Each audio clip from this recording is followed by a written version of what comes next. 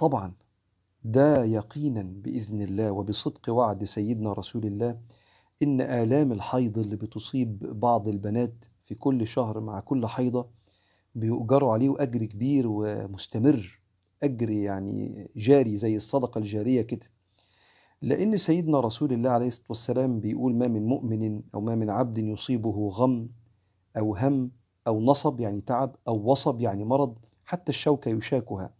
إلا كفر الله بها من خطاياه وآلام الحيض آلام عضوية مؤلمة تشبه آلام الأمراض. وبالتالي بصدق وعد سيدنا رسول الله الأجر إن شاء الله كمان يكون كبير. والصبر وملازمة الذكر. طبعا بعد استشارة الطبيب وأخذ الأدوية المناسبة لحاجة زي كده. لكن ملازمة الذكر والرضا بقضاء الله لأن مش كل البنات بتصيبها الآلام دي في الحيض. الرضا بقضاء الله واختياره بيضع البنت في مقام كبير عند ربنا. والله أعلم.